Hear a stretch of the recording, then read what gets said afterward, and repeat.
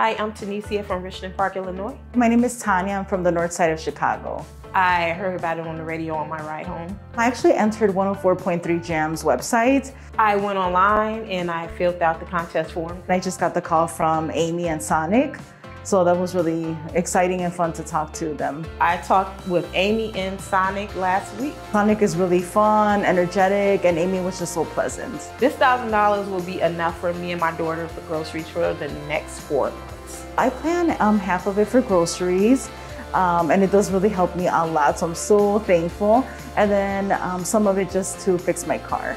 Thanks 104.3 Jams and 1-800 Truck Wreck. Thanks 104.3 Jams and 1-800 Truck Wreck.